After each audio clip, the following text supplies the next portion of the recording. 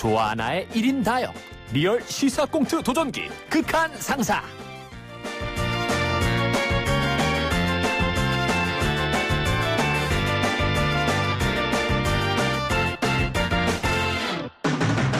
조대리 눈썹이 왜 그래?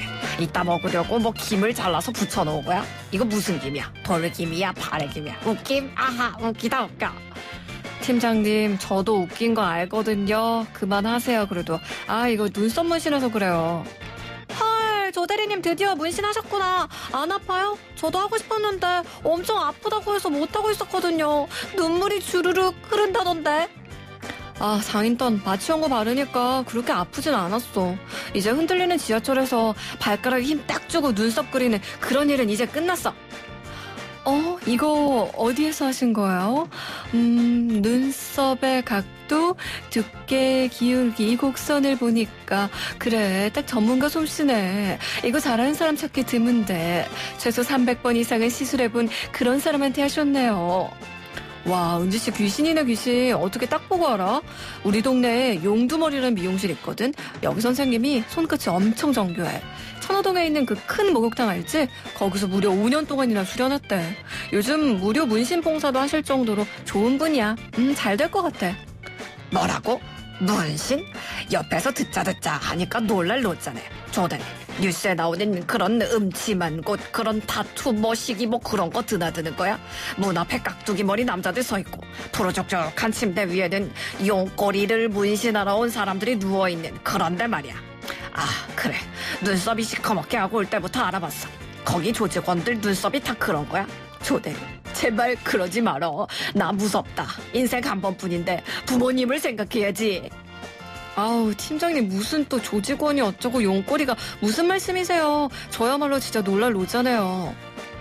그래요 팀장님 이 반영구 눈썹 문신 한 번도 못 들어보신 거예요? 아내분 안 하셨어요? 요즘 남자들도 많이 한다던데 미용실에서 시술 받는 게 원래는 불법이었는데 이제는 허용이 된다고 해요. 팀장님도 점점 눈 수치 없어지시는 것 같은데 이참에 한번 해보시는 거 어때요? 신체 발부 수지 부모 몰라? 부모에게서 물려받은 몸을 소중히 여기라 했거든. 눈에 흙이 들어와도 얼굴에 바늘 될 일은 절대로 없을 거라고. 아, 아, 근데 이때 입안에 난 혓바늘은 어떻게 하지? 아, 웃기다 웃겨.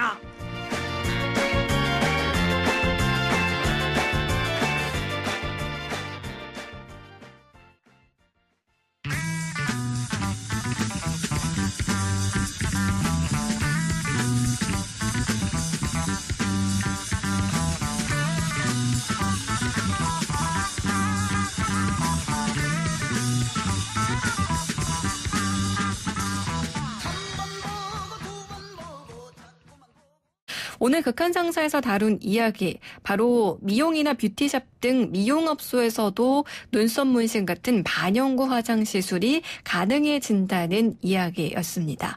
중소기업과 소상공인을 살리기 위해서인데요. 그동안 이 문신 시술은 감염 등의 이유로 의료행위에 포함돼서 의료인만 시술을 할 수 있었습니다. 하지만 암암리에 미용실이나 뷰티샵에서 시술이 이루어지고 있었죠. 이런 것들이 그동안은 불법이었는데 요. 지난 10일 이 중소기업 소상공인을 위한 규제 혁신은 140건이 확정됐는데 이 안에 의료인이 아니더라도 눈썹과 아이라인 등에 한해서 미용업소에서도 시술을 할 수 있게 했습니다. 그래서 미용업소 종사자 22만 명이 혜택을 볼 것으로 전망된다. 이렇게 정부가 밝혔는데요. 하지만 비의료인의 문신 허용에 대해서 의료계 곳곳에서는 반대의 목소리도 내고 있습니다. 신체와 보건 위생상 위해를 가져올 우려가 있다. 뭐 요런 이유에서인데요. 여러분들은 어떻게 생각하시나요? 여러분들의 다양한 의견도 좋고요. 오늘 사연 신청곡 그리고 퀴즈 정답 기다리고 있겠습니다. 퀴즈 정답 관련해 서 다양한 또 네, 사연들이 오고 있습니다. 샵 0945 우물정 연구사 5번이고요. 짧은 문자 50원, 긴 문자 사진 100원입니다. 또 유튜브 보이는 라디오로도 함께하고 있습니다.